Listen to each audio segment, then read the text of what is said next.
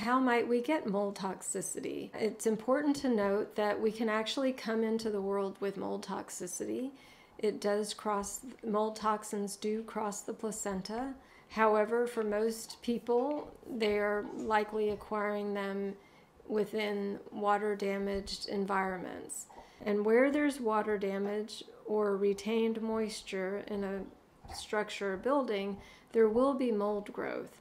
And it's these particular molds that are especially toxic. Outdoor molds, where there's checks and balances, those molds are not necessarily spewing off the toxins in the way that molds present in a contained moist space do. Most of those sources are through inhalation. This could be in our homes, it could be in our workspace, it absolutely could be in school settings, in dormitories, in daycare, can also be in cars that have some degree of water damage or window was left open. And it could even be a mattress in which there was bedwetting. Retain moisture in a contained space will grow mold. Not everyone, however, seems to be susceptible.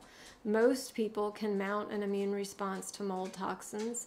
That doesn't mean that if they get a large enough exposure, they won't develop toxicity.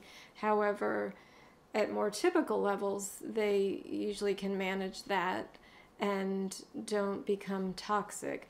It appears that 25% of people can't mount an immune response. There does appear to be some genetic vulnerabilities here.